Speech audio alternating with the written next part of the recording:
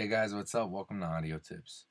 Uh, in today's tutorial, we're going to take you guys into uh, Logic Pro uh, audio effects. I'm going to open up my Waves bundles and I'm going to show you guys a, a Waves plugin called the PuigChild uh, 670. Basically, I'm going to go in, open it up, show you guys uh, how it works.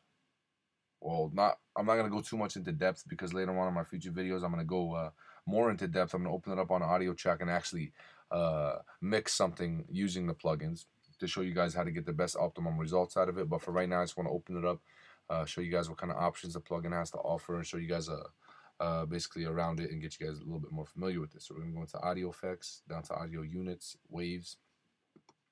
We're going to go down to PuigChild 670. We're going to open it up. It's going to look a little something like this.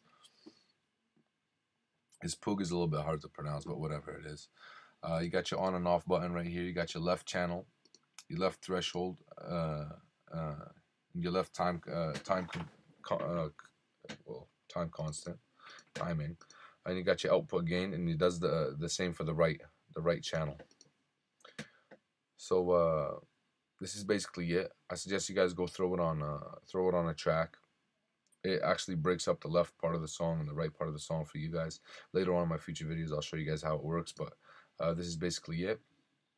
You guys can use it. It's uh, uh, a very, very powerful plugin.